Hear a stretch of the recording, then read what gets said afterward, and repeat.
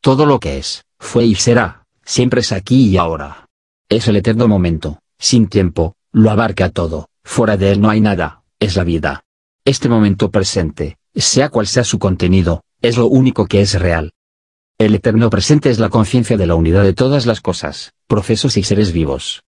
Por lo general, imaginamos y experimentamos la vida como una cadena de interminables momentos, donde un momento da paso al siguiente. Vivimos creyendo que viajamos del pasado hacia el futuro y que el momento presente es solo el nexo de unión, el punto de encuentro.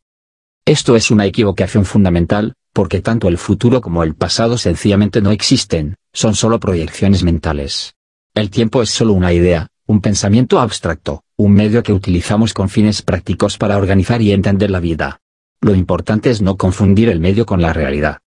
La experiencia solo existe en este único momento en que es sentida, es decir, en el momento presente, el aquí y ahora. Aunque esto pueda parecer muy obvio, es una realidad que no admitimos, puesto que normalmente estamos tan ocupados con el pasado y el futuro que ignoramos lo único que realmente importa y existe, el momento presente. Estamos tan ocupados intentando mejorar nuestra vida, que nos olvidamos de vivirla y de este modo vivimos como si nunca fuésemos a morir morimos como si nunca hubiésemos vivido.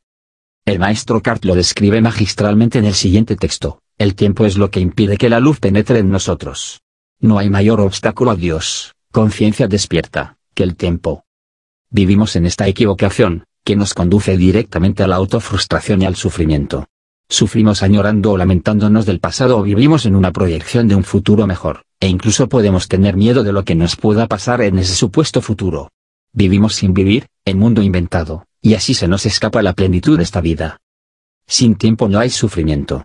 Nos hemos perdido en el laberinto de los pensamientos, y vivimos recluidos en una cárcel mental. Las rosas que están bajo mis ventanas no señalan a las rosas anteriores o a rosas mejores, son las que son y existen hoy en Dios, en el ser. No conocen ningún tiempo. Las rosas simplemente están ahí, y son en cada instante de su existencia absolutamente perfectas. Pero el ser humano recuerda y aplaza, no vive en la presencia, mira atrás quejándose sobre el pasado o imaginando, ignorando la abundancia del presente, un futuro mejor. No puede vivir feliz y fuerte hasta que no aprende a vivir con la naturaleza en la presencia más allá del tiempo. Con este texto, Ralph Waldo Emerson describe perfectamente cómo nos hemos alejado de lo único que es real. Cuando comprendemos que solo existe el eterno momento, sin tiempo, donde todo es sanado, la sabiduría y la alegría del ser brota de forma natural desde nuestro interior hacia el mundo, las limitaciones se disuelven y nos damos cuenta de que no hay nada detrás o delante de nosotros, solo el infinito y vasto espacio del momento presente.